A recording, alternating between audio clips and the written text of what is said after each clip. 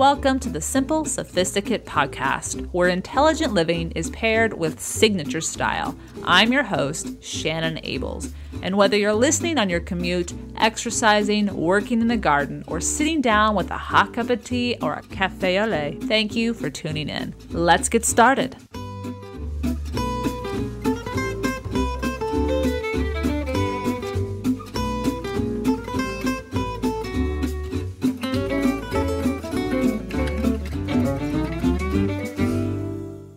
Welcome to the 135th episode of The Simple Sophisticate. We are winding down 2016, and I was thinking about all the different topics that I was considering doing for the last episode of this year, and I couldn't choose basically which one to do. There were so many with regards to little life lessons that I wanted to talk about. And so, what I decided to do is curate today's episode around the life lessons, the 10 life lessons that I was taught, or that were revealed to me, I should say, in 2016. Now, it's up to me moving into 2017 to apply them, but I thought, you know what? What better way to reflect and then try to learn the lessons than to break it down and share them with you so that they could make more sense to me and perhaps speak to something in your life as well. But before I get to those 10 lessons, today's petit plaisir, I actually have two, to be honest with you, today because, well, it's the end of the year and we take off a week um, every year we always take off the last week um, on the podcast. And so I wanted to give you something extra before I return on January 2nd. So stay tuned for those. Both are entirely different things to hopefully satiate your holiday vacation or maybe some free time, something that you might just enjoy doing that doesn't cost a lot of money at all. But now back to the topic for today's episode.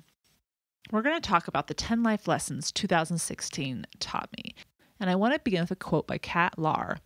She states, It is within the boundaries of reflection we are able to become aware of insights that can lead us to understanding. And that's exactly what we're going to do today. So let's just dive right in. On the 1st of January, with each year, 12 months stretched before us full of potential to progress and evolve and to observe the magic that we could never predict on that first day of January. The year 2016, as I mentioned, has offered life lessons in abundance. Having filled three journals over its duration, I had a laundry list of lessons I could share with you today, but I've narrowed it down to 10. And I thought I would take a look at each of those aha moments that the year has provided and hopefully, potentially, help us provide with regards to learning these lessons, the magic for 2017, should we apply what we learned. So, number one, sometimes what we need is the one thing we think we cannot possibly do. In previous years, I have shared the benefits of meditating. And most recently, written a handful of posts which included meditation as a practice worth incorporating into our daily routines. And I'll provide a link to all of those posts on the show notes. I know some, even my previous self, dismiss meditation, each for our own reasons. Mine in my 20s was that I couldn't possibly be still with my thoughts. It was, to be frank, frightening to do so. But as I contemplated this real fear as to why I wasn't investing in the practice of meditation, I realized it was the most important reason to begin meditating so that I no longer had to be fearful of my mind or frightened to experience emotions or ideas that I wasn't comfortable with. While I am by no means a guru or even a semi proficient meditator, I do find I look forward to meditating, of which I try to do each day, but sometimes a few days each week are unable to find the time, something I am clearly still working on. I also find that rogue thoughts that still pop up from time to time no longer scare me. I have come to understand how to use the tools of observing and then letting go of thoughts, as well as being more present rather than arrested by worries about the future or anguish about the past. I had initially begun using Headspace, the free app, a couple of years ago, and then abandoned it, citing no need for someone to tell me how to sit down and be still with my thoughts. However, after I stopped using the app, I also stopped meditating regularly. So, with the inspiration from a friend who uses it regularly, I re downloaded it onto my phone. The first series of 10 is free, and you can just loop that series that's free again and again and again if you don't want to upgrade. And I have been meditating with the app for the past two months. This summer, as I mentioned in a previous episode, I meditated each day for about five minutes on my own without the app. And now with the app, I am up to 10 minutes. I know it's small, but for me, it's significant growth. There are other helpful meditation apps out there based on what you want and my one of my go-to podcasts, the Positive Psychology podcast, actually debriefs three meditation apps in episode 72.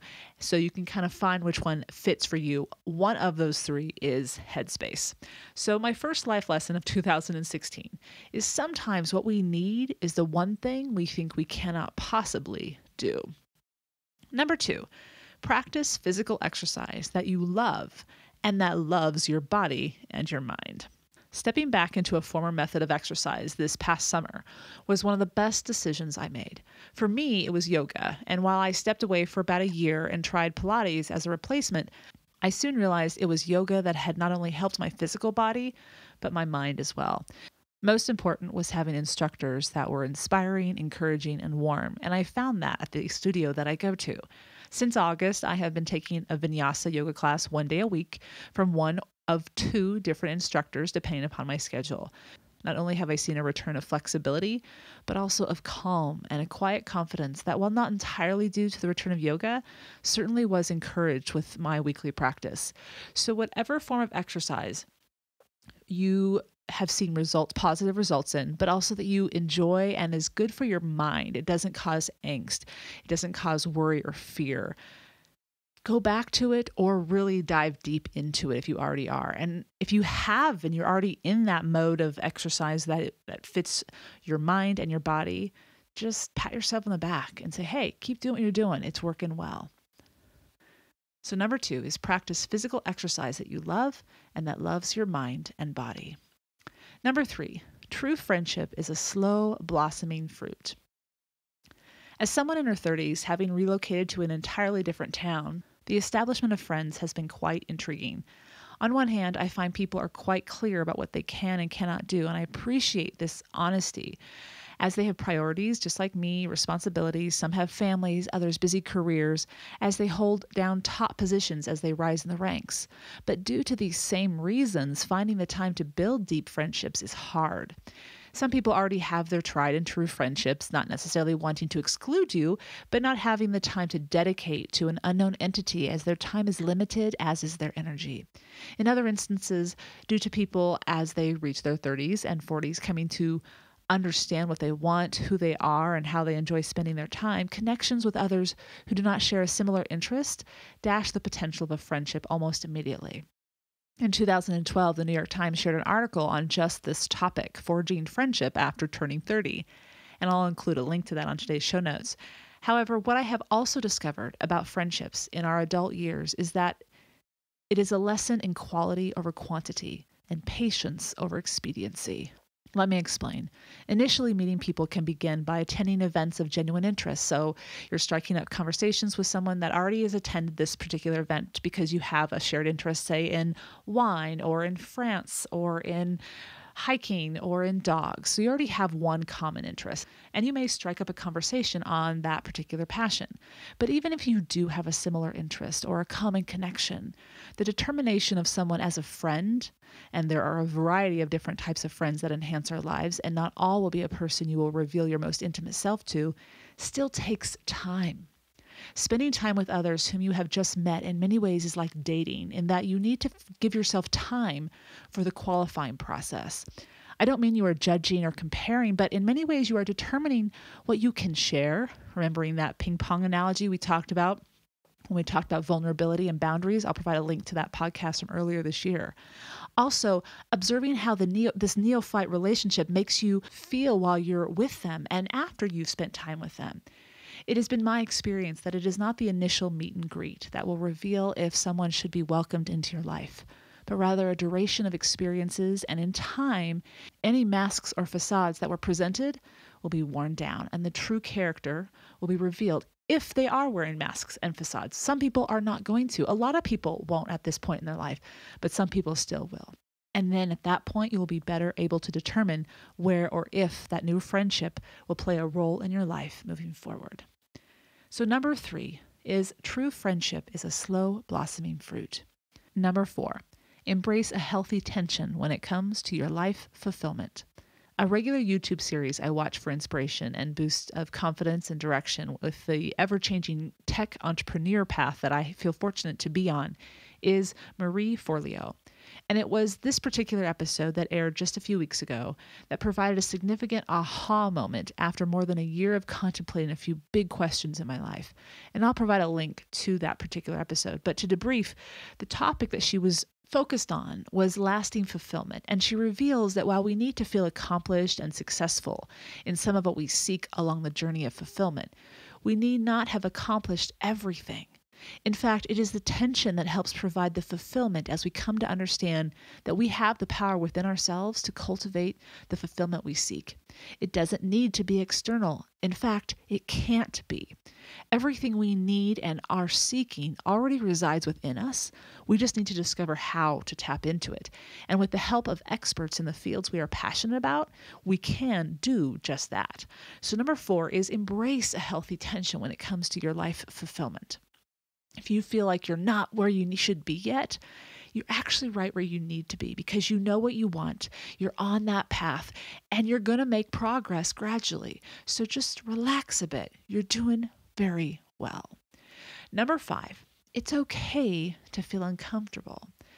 My first experience with the French meetup group this year in Bend required of me to overcome great trepidation.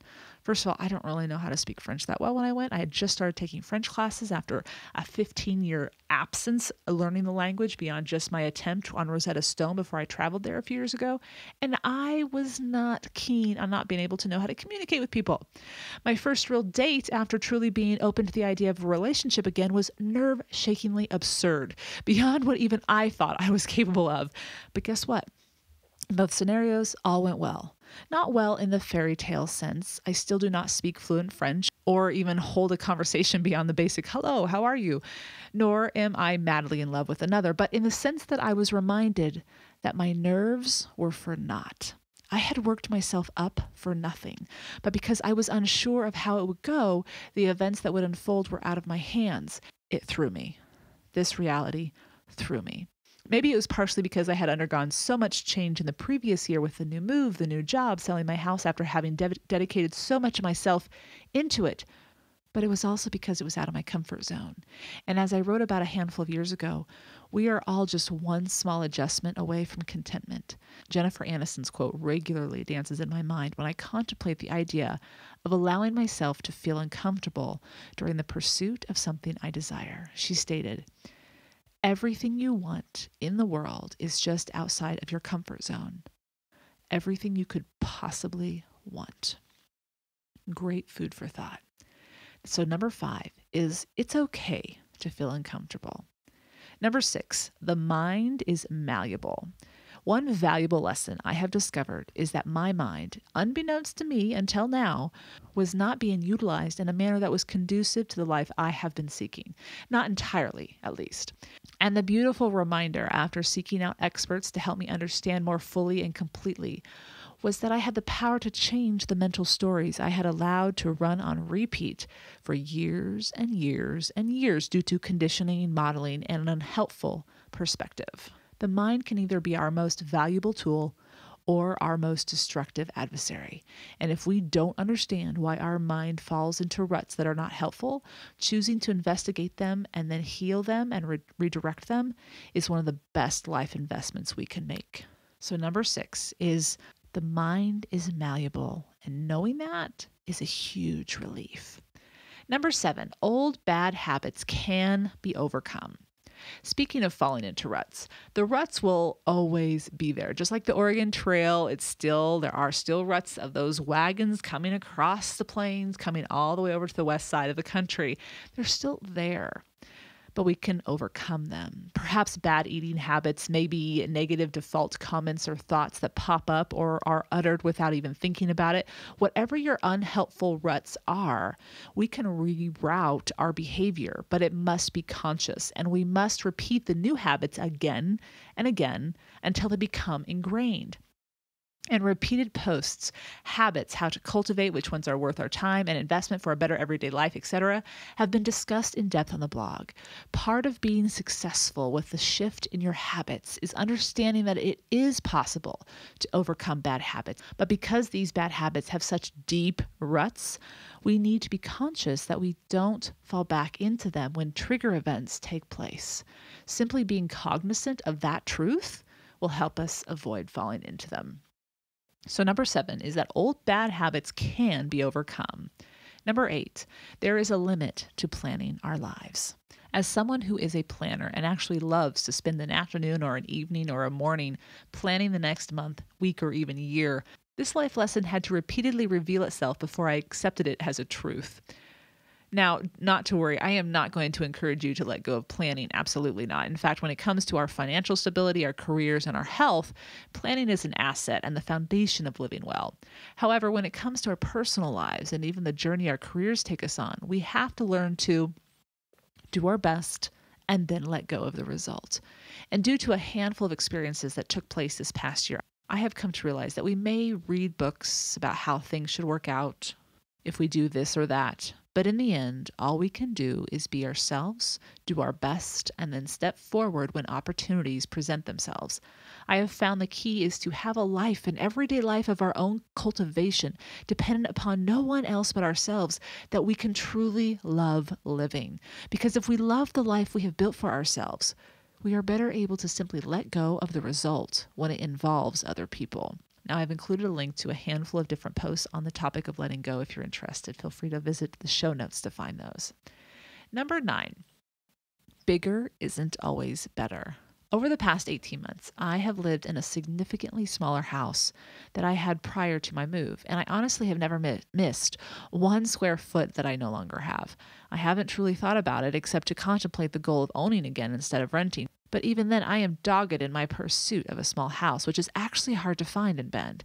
The life I now have the opportunity to live is more alive, engaging, and fulfilling than at any other time in my life, in part due to fewer responsibilities I have to tend to if I lived in a larger space.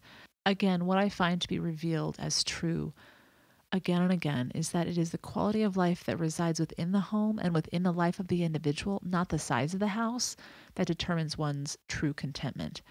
A clean home? Yes, absolutely. A house that is curated to the comforts and needs of the residents? Absolutely. But just as important as a roof over one's head that is warm and clean and inviting is understanding how to live fully and letting go of the unnecessary, the burden, the false have to beliefs and must haves. Quality over quantity, again and again and again, proves to be the path to true contentment. So, number nine is bigger isn't always better. And the last lesson, number 10, contentment resides within each of us. Each morning, I wake up and I pinch myself. No, everything in my life is not perfect. I still have doubts, fears, and wonderings about the future, as we all do, but I don't let them percolate and muddle the truth that the life we can each create, the life I am creating and doing my best to share with you as I make the journey, is something worth savoring each day. As was mentioned in point number eight, it is far easier to let go when we enjoy the life we've curated for ourselves, when we've tended to all that we do have control over, when we've realized that much of the angst we have about life is self created and we are causing more problems and worry than is warranted. When we understand the true power we have within ourselves, we open a world of opportunity to live a more fulfilling and contented life. So, number 10 is contentment resides within each of us. It does take courage to apply some, if not all, in some capacity, the life lessons that I've shared today. And as we need to remember, courage is not about eliminating fear. We can't do that. It is simply overcoming it. Fear will always want to step in and pull us back into the world of worry, doubt, and anxiety. But we have the choice to not give it its power. We have the choice to step up to the plate, put in the hard work, and dance with life. Because we also know some years we learn a weighty amount. Other years, we have the opportunity to put it into practice, and still other years are gifts to simply savor. It turns out 2016 may have involved more of the learning a weighty amount, but it also included aspects of the other two components as well. So is life, unfolding its magic so long as we participate. I hope you've enjoyed today's episode. You can find the links to all those different posts I talked about on the show notes, the simplyluxuriouslife.com backslash podcast 135. And just a podcast note, the Simple Sophisticate is taking its yearly one week vacation beginning the week of the 26th. The next new episode will be available on Monday, January 2nd. In the meantime, feel free to peruse the previous 134 episodes or stop by the blog next week for a year in review where I will share the top five episodes of 2016. And now to this week's Petit Plaisir. I have two I think you will enjoy. I'll see you in just a few.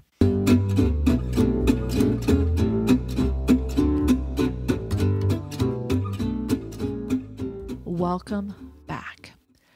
Now, since we're taking a week off here, our annual week break, I wanted to share with you something that many listeners email me about, and I have yet to curate this list. It's taken some time because I'm constantly wanting to make sure I offer something you sincerely enjoy. But many listeners, because this is a podcast, they ask me, well, what podcast do you enjoy? What podcast do you listen to? And as I've said many times before, a lot of the times what I'm listening to are topics that have nothing to do with what I talk about here on the podcast. I love food, for example, and so I have a couple of food podcasts that I listen to. And of course, I listen to a few fashion, so I do talk, I do talk about fashion here sometimes on the on the podcast. But primarily it's just pure pleasure. And I sincerely love listening to my podcast when I go on my walks and just kind of getting lost in the information, but also the hilarity or the different perspectives. And so, what I've done for you guys is provide a link to the top 10 podcasts that I listened to this past year in 2016 and love and want to recommend. And I will provide a link to that on today's show notes. But if you want to go directly to it, all you have to do is go to the simplyluxuriouslife.com top 10 podcasts 2016. And it'll take you right there with a brief description of what it is that the podcast is about and what I most enjoy about it. I think you'll enjoy the variety um, and the quality. For the most part, all the, the quality on all these podcasts is is top notch, and um, you'll be in for a treat no matter which one you want to tune into as you're traveling this week or wrapping up 2016 and looking into the new year. Now, for our second petit plaisir. Maybe you aren't a podcast listener, or maybe you like to listen to podcasts, but you also like to read. I have a wonderful fiction book that you will probably devour as quickly as I did. I came across it while I was perusing in my local bookstore last weekend. I needed a new book to read at night before I went to bed, and I wanted something lighthearted but thoughtful and not too daunting. And I found it. I didn't know really what I was getting myself into, but the bookstore owner, they had it as a recommendation, and I read the description of why they liked it. I'm thinking, okay. Well, they did not steer me wrong. It is fantastic. The book is called Love in Lowercase by Francesc Miralles, and it is a, he's a Spanish author and it is translated into English, but it is an international bestseller that was released early this year, so back in January of 2016. And it is a story of a 37 year old professor who lives in Barcelona. He is a German linguistics professor. And he just, he's convinced that the new year that's coming upon him, so that's part of the reason I liked it too, the timing of it, is just going to be like every other year. It's like, whatever. and well, he was absolutely wrong, thus the novel. And it all begins with the arrival of a cat who makes himself right at home in Samuel's apartment. In less than a week, this delightful novel was read and devoured by myself, and with its short topical chapters, I think you'll appreciate also the content. It involves a lot of different liberal arts discussions and philosophical questions um, and allusions to different um, poems and topics in the liberal arts field. That if you are someone of that ilk or someone who just appreciates those interests, you will enjoy this novel even more. And not I'm not going to ruin the novel for you. I definitely am not going to ruin the novel for you, but I want to at least share with you that really is the deepest lesson that I took away was that just simply being more open to grasping opportunities when they present themselves.